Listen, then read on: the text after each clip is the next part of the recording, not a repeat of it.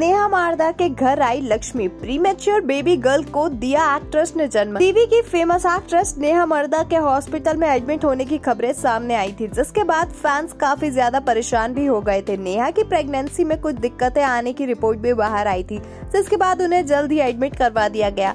इसी बीच नेहा के फैंस के लिए एक बड़ी खुशखबरी सामने आ चुकी है। जी हाँ नेहा के घर में लक्ष्मी का आगमन हो चुका है। रिपोर्ट्स की माने तो नेहा मर्दा ने एक बेटी को जन्म दिया है, लेकिन उनकी डिलीवरी प्री मेच्योर है। बताया जा रहा है कि अभी बच्ची हॉस्पिटल में ही एडमिट है। मीडिया रिपोर्ट्स की माने तो एक हफ़्ते पहले ही नेहा को कोलकाता के एक हॉस्पिटल में भर्ती करवाया गया था। फ़िलहाल वो ठीक है और बेटी को जन्म दे चुकी है। बताया जा रहा है कि उनकी बेटी भी बिल्कुल ठीक है।